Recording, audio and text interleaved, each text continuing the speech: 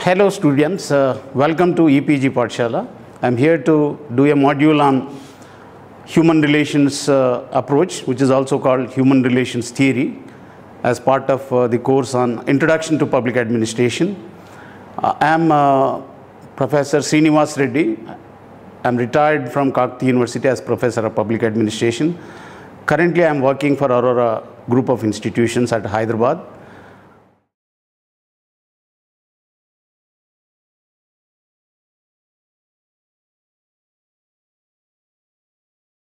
Human relations theory is also known as neoclassical theory.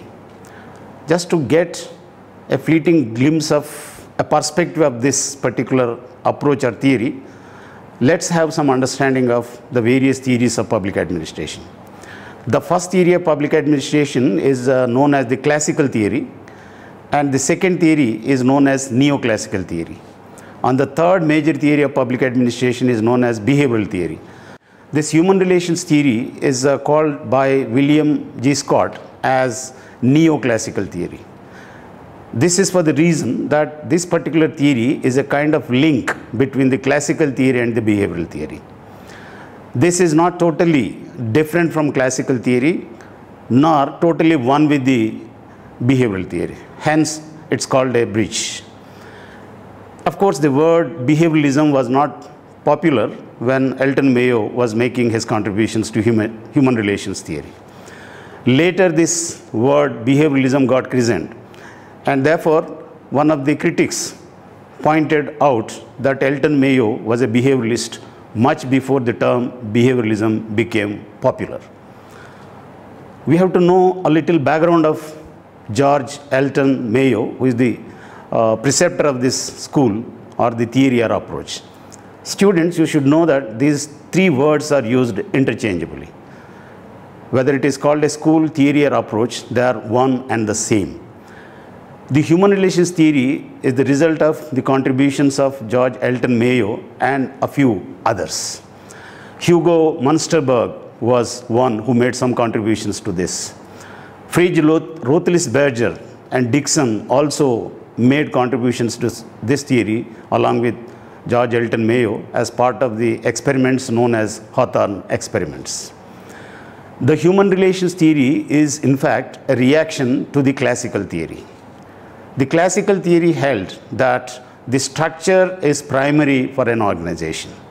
If somebody wants to offer a good administration or efficient administration, he has to develop a well-structured organization.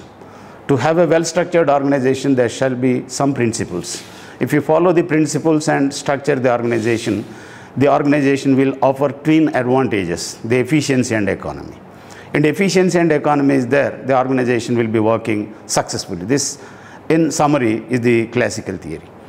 This classical theory had an economic notion of man. Uh, I think some of you would have heard that there are various social science subjects would tag the man with that particular subject and specify, portray his nature. Economists would say that man is an economic man. Sociologists would say that man is a social man. Psychologists would say that man is a bundle of wants. So, so on it goes. And uh, taking a cue from economists, the classical theory assumed that an industrial worker or an employee in an organization basically works to fulfill his economic needs. And once these needs are fulfilled, he will not bother about other things. So this is essence, essentially the contribution, the, the concept of economic man, which was disputed by George Elton Mayo on the basis of experiments he has conducted. And uh, George Elton Mayo posits or offers an alternative view of human being and he says that man is basically social man. He lives and works in organization for social gratification, for a comfortable social life and all that. So he highlights the social notion of man. But he would not totally dispute or totally condemn the earlier notion that man is economic. So therefore, human relations theory says that man is part economic and part social. So therefore, the human nature is more complex than what the earlier thinkers have assumed. Elton Mayo is influenced by two famous thinkers, psychologists, Pierre Janet and Sigmund Freud. And uh, he was one with a very wide background. He studied logic, he studied philosophy, he studied medicine, and he worked in, as a professor in philosophy. But with this background, he joined Harvard Business School as professor of psychology. And he was called to help the Western Electric Company, the Hawthorne plant of Western Electric Company, to fix a problem. The problem there was the high turnover of employees. For the benefit of students, uh, let me mention that turnover means how many people leave the job before the end of the year. If more num large number of people are leaving, this is called high turnover. If the number of people leaving the organization at the end of year is very minimal, it is low turnover. High turnover, particularly in the Western industrial context, is considered to be a negative because the organization would not have experienced people to work with it because all the time people are changing. So this was the problem and it was supposed to be fixed. And uh, when the company could not do by itself, it invited outside experts. And the first invitation went to the Social Research Council and these people have done some research from 1924 to 27. And this research could not result in much headway and therefore Elton Mayo was called from Harvard Business School and stepped in and conducted further experiments from 1927 to 1932.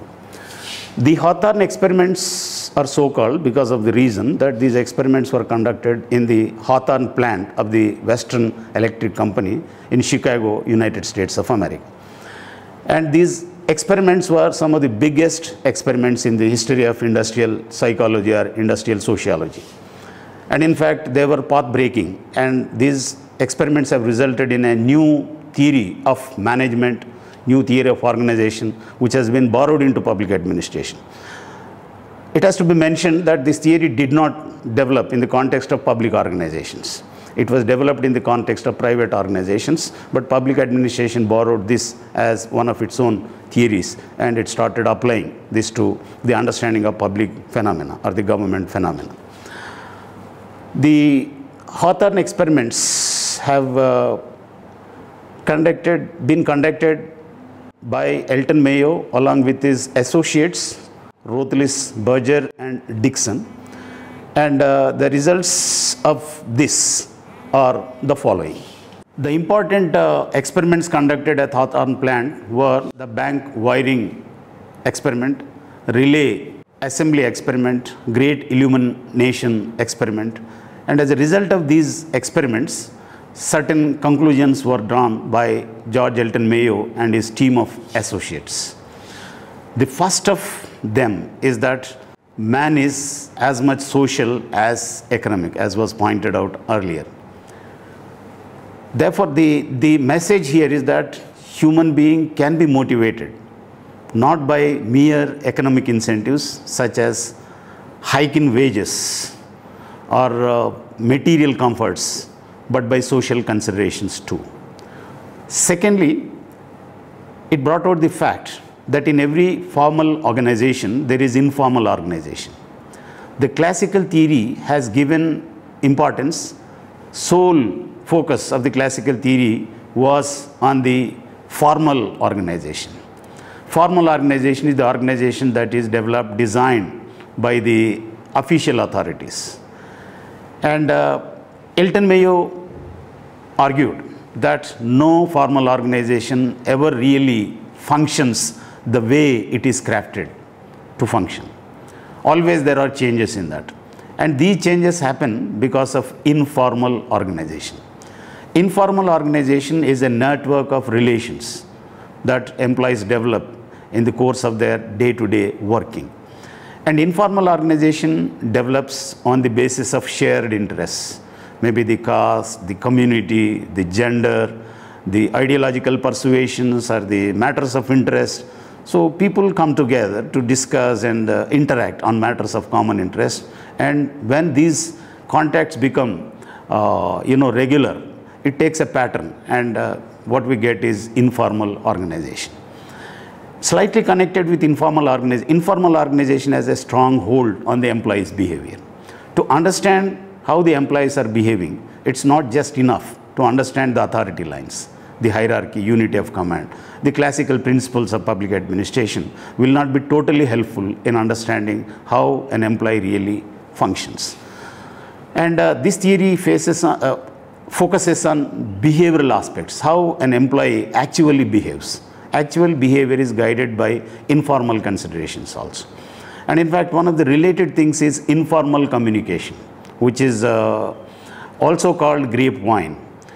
As a creeper of the grape spreads quite fast in all directions, the informal communication, uh, which is different from official communication, spreads very fast and employees take to informal communication more readily than formal communication. Formal communi uh, communication will be jettisoning, it will be halting and you not, do not show much interest in that because of the verbose and uh, the, the jargon riddenness of the formal communication. The informal communication is spontaneous. It touches your heart and it, uh, it touches your feelings and therefore it's more interesting and you, you would tend to uh, show much interest in this. So this is another aspect of this. And one more thing is that this uh, theory also says that Elton Mayo talks about a particular phenomena called the Hawthorne effect. Hawthorne effect is uh, the change in behavior of the people when they are under observation. Human behavior is of two types. One, when nobody is observing, your behavior is natural true to oneself. When you are under observation, your behavior tends to be different. This is what is called as Hawthorne effect. And uh, to substantiate his conclusion about the existence of informal organization, he has introduced to test what is the nature of the worker, the nature of true nature of the worker. Is, is he totally economic as it was posited by the earlier school or is he different from that? Is he social uh, as he started believing? And uh, he started a scheme of incentives for employees. And uh, incentives are those which are given to employees and it results in variable pay. If you work more, you get more. If you work less, you get less. And therefore, it, it uh, just try to test a hypothesis known as a Rabble hypothesis which was forwarded by the classical thinkers. Human beings were considered to be a disorganized mass of people, each acting in his own individual interest. So everybody would try to maximize individual interest. He will not so much bother about the social interest or community interest. So just he wanted to test this and he introduced incentive systems in a place of work in one of his experiments. And his experiment proved that incentive system was made a success in the sense that employees took to it and they went on increasing the production. And the, the production shot up, up to a point, because there was something to gain by everybody, but at some point of time it peaked, it plateaued. Plateauing is, uh, it, it uh, stand, stood settled at one level. It was neither going up nor going down. So it intrigued him and he probed deeply into that and the workers realized that by having an incentive system, there is some kind of likely negative impact to all of them. The negative impact will be if you if the workers go on incessantly ever increasing production, a time may come that you produce more than what a company can sell. So therefore the eggs will fall on extra workers. So it may be that some of the slow workers may be exed, they may be removed from service. So therefore they thought that in the collective interest to save everybody around, so they thought that incentive system is good to the extent that will help us to gain more money. But incentive system should not be uh, taken its, uh, to its logical conclusion because if we keep on producing more, we can produce more. But if we keep on producing more, some people would lose jobs. It may be you, me, or anybody. So therefore, the feeling of camaraderie surfaced and they wanted to settle at one particular level. And they developed some informal communication, which I have just mentioned. So somebody who was mentioning this to outside management, they wanted to make it a secret. So they had a, an understanding among themselves that they will keep this to themselves and they will not leak out what they have decided. But they should not produce more, nor they should produce less. So if this information was to be leaked out, the person who leaked out was called, criticized, heckled as a squealer. If somebody was overdoing, trying to do too fast and produce more, he was criticized as rate buster. If somebody was doing too slow and uh, too slow to defeat the very scheme. Uh, the net production after introduction of the scheme should not be below the earlier production level. So there is danger if everybody produces uh, slow. So there may be uh, failure of this experiment and uh, they stand to lose. So therefore the fellow who was working slow, slow workers were nicknamed as uh, chiselers. So chiseling is, uh, you know, you craft a statue by chiseling. So when the nose is chiseled, I think you spend hours and days to craft a sharp nose. It takes, one doesn't know how many days it takes. So therefore, uh, that kind of attitude was resisted by the, uh, the people in general. So therefore, group norms were what were important. And this is where Elton Mayo said that group norms are more important than official rules and regulations. One more contribution of George Elton Mayo is that he gave the slogan that happy worker is the most productive worker. The workplace should make the workers happy. By making the worker happy, his production levels will increase. So this is yet another contribution of this. And one more important contribution, and perhaps the more important of the contributions, is that he, is considered to be rightly the father of industrial sociology. Elton Mayo said that industry is a social microcosm. It's a reflection of the wider society outside. And therefore, one should be aware of this fact while dealing with industry. So what are all the forces in society in some way or the other also influence the, the working pattern and working relations and uh, working atmosphere of the companies where the workers are working. So therefore, uh, workplace is a social microcosm and therefore industrial sociology recommends that the sociologists or uh, people should take interest in studying industry, the industrial society's makeup. So what are the people, what are the groups in that, what are the uh, values of the people working, what are the norms of the people working, these things should be understood to gain uh, an understanding into the psychology of the workers so that workers can be motivated to produce higher levels of production. Well, these are some of the major contributions of uh, George Elton Mayo. And uh, Elton Mayo's contribution is one of the important ones, is that he has shown the way of improving productivity without spending more money. Where the classical theory harped on economic incentives and money as the sole means of motivation. He said that money is not the sole mean of motivation. Workers can be motivated by playing to their social interests, social needs. And in uh, uh, saying this, he take the support of the ventilation therapy, which he did. He went on listening to the workers' problems. And uh, without, and the workers went on narrating what are all the problems they had and how they would like to be treated and all that. Elton Mayo did not do anything because he was a researcher, a consultant from outside. He was not the authority, did not have the line authority to change the, the organization's uh, functioning and all that. But yet he did not give any uh, impression that he was either changing or not changing, simply went on asking what were their problems, what are their views. And uh, this is what he called as ventilation therapy. So workers went on narrating their feelings, their ideas, their outbursts and all that. He was uh, patiently listening to all of them. And he found that the productivity increased because of that. In one more thing, he established in the great illumination experiment, he improved the physical conditions of work. Particularly one parameter of work was light intensity in a relay assembly room where good lighting was of great help in assembling the telephone pieces. And when the light intensity, he wanted to find out the relationship between two variables, that is intensity of light and productivity. So assume uh, from the classical thinkers that if you improve the light intensity, productivity is more. So he slowly went on increasing the intensity of light and uh, true to his guess, his uh, uh, guess the productivity went on and it went up and up. And uh, he tried to test if greater illumination is the reason for greater productivity, lesser illumination should result in decline in productivity.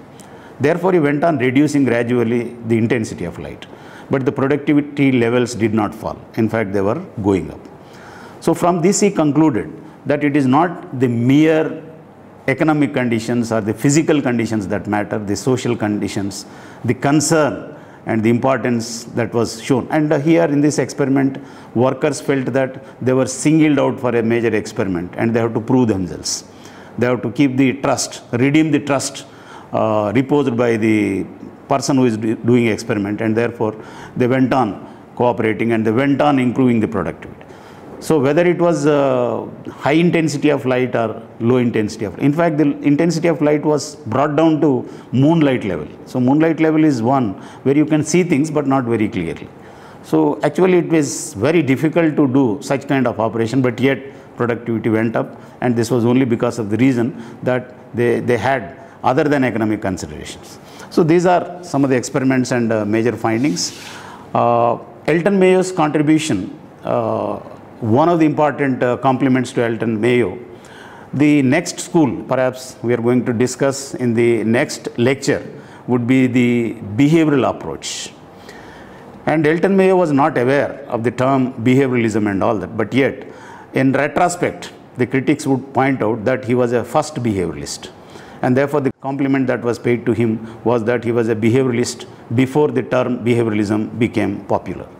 Second, he is considered to be the father of industrial sociology. Anybody interested in uh, industrial production should also look at industry as a social uh, microcosm. So they have to see the reflections of society in the industry and uh, they have to give uh, enough attention to social aspects. Thirdly, he has demonstrated the power of informal organization. And in fact, he goes to the extent of saying that informal organization is not the counter of formal organization. And there is a feeling among some administrators that informal organization spoils the formal organization. And uh, Elton Mayo goes to the extent of saying if there is no informal organization, it has to be created. There are several advantages of informal organization. Number one, informal organization is spontaneous. So one doesn't get bored spending time in an informal way. But in a formal meeting, one gets exhausted, becomes tired very soon.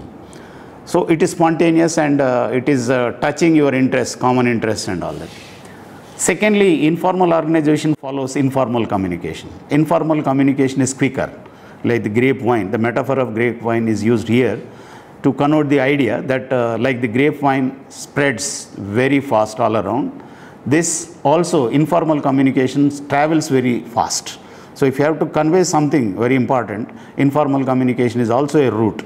And sometimes it is not possible to reach communication only through formal communication because of the reason that uh, subordinates may not pay attention to formal communication because formal communication is always uh, top down and it comes with certain laced with authority and uh, it says that uh, you know with certain compulsion and it is a kind of ordering, you know, where the subordinate has no way but he has to follow. But informal communication appeals to the good sense of the person and it, uh, it tries to convince the fellow to do things and all that. Therefore, this is the power of informal communication.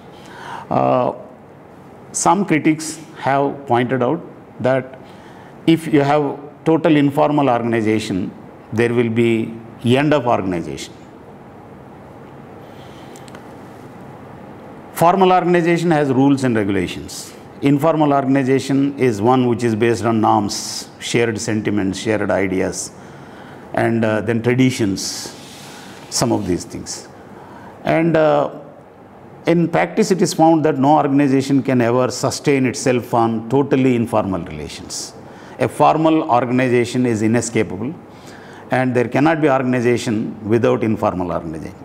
The critics essentially point out that informal organization is important, but Elton Mayo has uh, done, overdone the importance of informal organization by saying that informal organization has all the merits, but too much of informal organization is also bad. In fact, some of the current problems of public administration in India uh, are because of too much of informality.